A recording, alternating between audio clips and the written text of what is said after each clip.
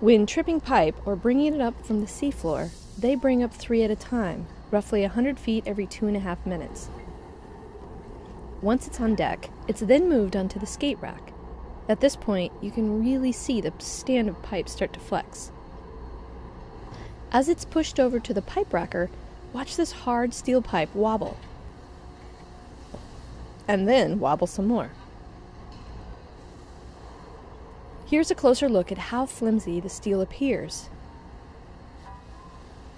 and how this rigid steel tube wobbles. Core barrels, which house the sediment and rock drilled from beneath the seafloor, slide up these pipes back to the JOIDES resolution. Amazingly, the team can assemble 15,000 feet of this steel pipe and get it to the bottom in about 7 hours. It takes about 375 horsepower to turn the drill bit at the end. That's about as much as a V8 engine on a 1992 Chevy Corvette ZR1.